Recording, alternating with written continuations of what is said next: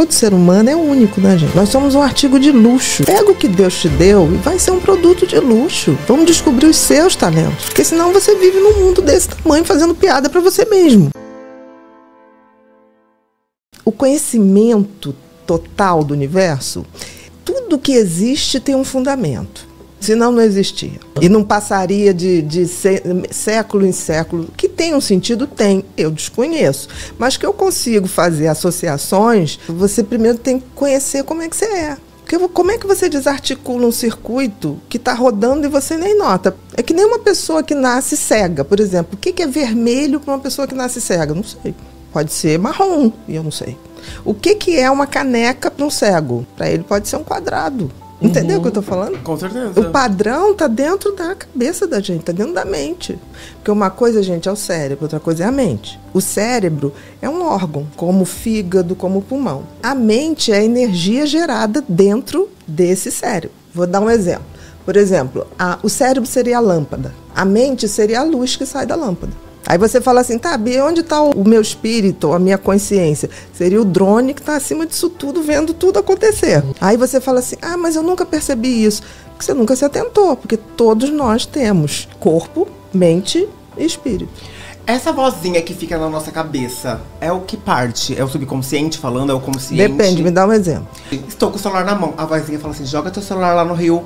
Aí eu não vou jogar o celular. Ou eu tô dentro de um ônibus ah, ah, joga seu celular pela janela. Aí eu falo, gente, eu não vou jogar. Aí eu tô perto de uma janela e falo assim, ó, pula. Isso é um pensamento obsessivo. Isso acontece em pessoas muito ansiosas. É um nível de ansiedade muito alto. O que é pensamento obsessivo? É um pensamento que se repete, de conteúdo negativo, e ele é sempre intrusivo. Porque você não quer pensar e aquela porcaria se introduz na sua cabeça. E como faz para você, tipo, desligar esses pensamentos Depende do nível do tamanho que você tem de pensamento obsessivo. Se te atrapalha, isso tem tratamento. Você deve ter baixas doses de serotonina. Você vive, você vive em todos os tempos, menos o aqui e agora. Eu ficava mais ansioso quando eu ficava pensando no futuro. E se eu tivesse feito? Se isso. Você é o homem do si. Você pensa o seguinte: futuro. Quem é que sabe do futuro? Ninguém.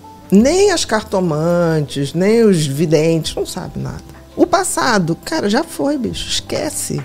A única coisa que a gente tem é aqui e agora. Não tem outra alternativa, nem que você não queira.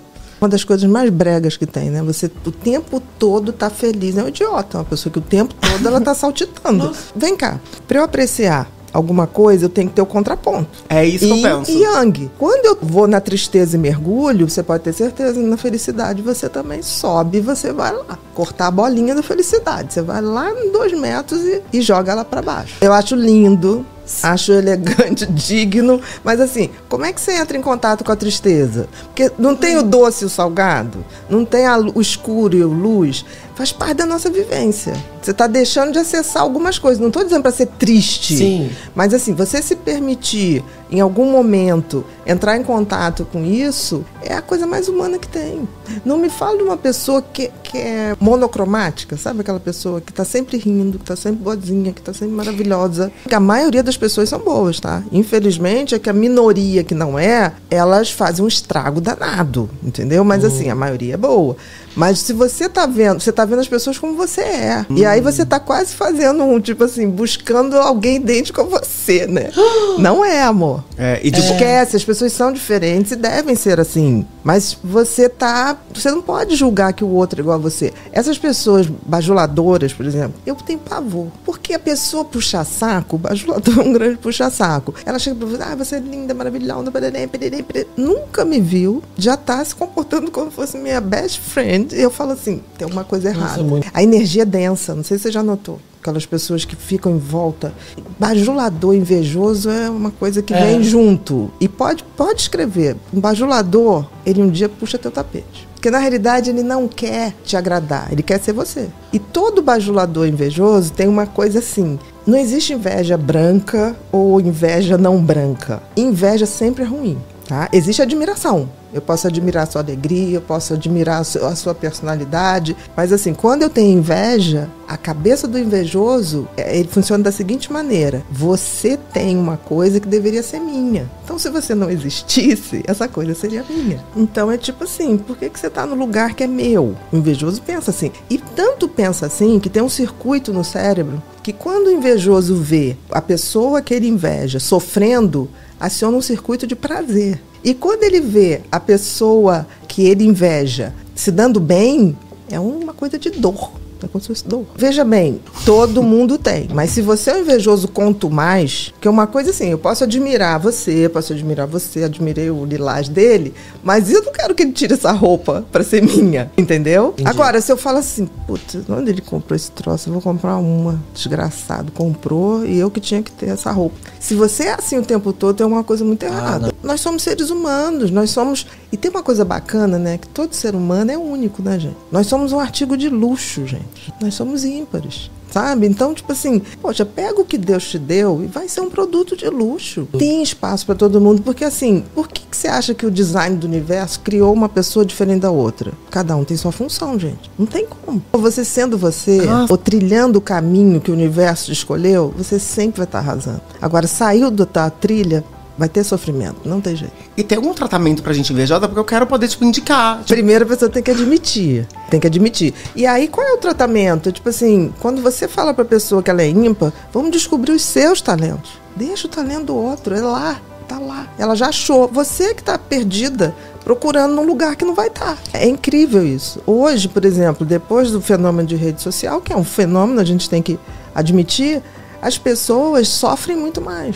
Porque as pessoas estão comparando com vidas que nem sempre existem, né, gente? 90% das redes sociais é fake news. Porque não estou tem... dizendo que não tem gente de verdade. Tem gente de verdade. Mas a maioria. Eu não sei se vocês viram um, um rapaz, um influencer bem bacana, que ele foi ajudar alguém a recuperar dois cachorros que fugiram. E aí ele botou, né? Usando da influência dele, vocês podiam achar o cachorrinho tal, se perdeu na rua tal. E aí as pessoas começaram a mandar direct para ele, tá, tá, tá. Ah, eu achei. Ele, ah, obrigada. Daqui a pouco, não, não achei, não. Faz o seguinte, eu achei. Mas só se você me seguir agora e pedir para não sei quantas pessoas me seguir, eu digo. Aí ele falou, não tô acreditando, eu tô falando uma coisa séria, esses dois cachorros, tá, tá, tá. Ele falou assim, não. As pessoas começaram a chantagear. Me segue, me consegue não sei quantos seguidores que eu digo. E era tudo mentira.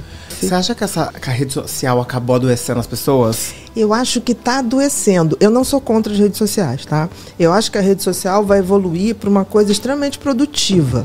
Eu acho que de alguma maneira a gente vai ter que reinventar a rede social para te dar conteúdo, porque senão ela vai morrer. E por exemplo, vamos, vamos pensar no podcast. O podcast é a contramão de tudo. O que, que se esperava há cinco anos atrás? Cada vez mais a gente vai ter que produzir conteúdo rapidinho que ninguém vai querer ver. O podcast é o contrário disso horas. Aí você fala, ah, tem um canal de cortes, ok. Mas tem um canal de cortes, mas o cara vai vendo cortes, aí de repente ele fala, pô, tá tão bom esse troço que eu vou que ver eu vou tudo. Uhum.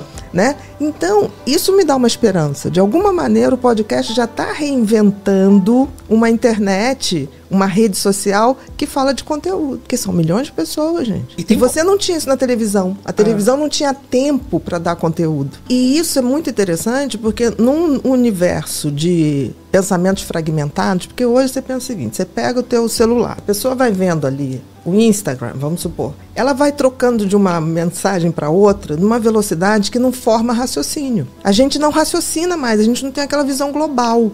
E para a gente ser criativo e efetivar a criatividade, você tem que pensar no todo, porque senão você vive num mundo desse tamanho fazendo piada para você mesmo. Eu tenho que pensar no universo, no, o que, que é humor. O grande humor, qualquer. Se o humor foi bem feito, todo mundo ri. É que nem um drama. Se for bem feito, todo mundo chora. Aí que você vê o bom comediante e o bom dramático. Porque, assim, tem gente que faz piada para eles. Você fica olhando assim. Dá para traduzir? Porque quando é bom, é atemporal.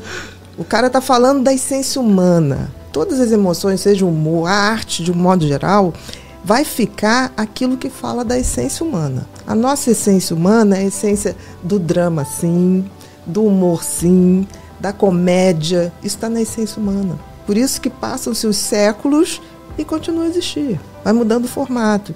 Então, voltando àquilo que eu falei, o podcast me deu uma, uma esperança. A coisa vai fluindo, fluindo, você não vê o tempo passar.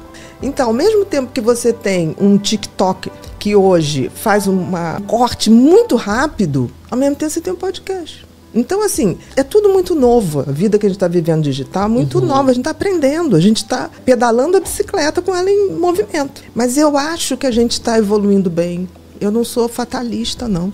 E tem um jeito de consumir as redes sociais sem adoecer? Porque, igual você disse, as pessoas, elas ficam, tipo, consumindo e elas ficam comparando a vida delas. A e isso momento, acaba é. gerando... Isso é muito ruim. Por isso que eu acho que a rede social, ela vai evoluir para alguma coisa de conteúdo. Para as pessoas sacarem para onde elas têm que ir, buscar e ser feliz. E olhar a rede, tipo assim, ai que bacana. Tipo assim, isso aqui é bacana, isso aqui não é bacana. Eu fico pensando que pessoas que... Hoje a dependência digital é imensa, tá, gente? Você ter uma ideia, hoje a rede que mais vicia é o TikTok. Efeito de droga, porque você fica aqui naquela velocidade mudando. E o que está acontecendo é que as pessoas que são viciadas em rede social não estão conseguindo mais ler, ler livro.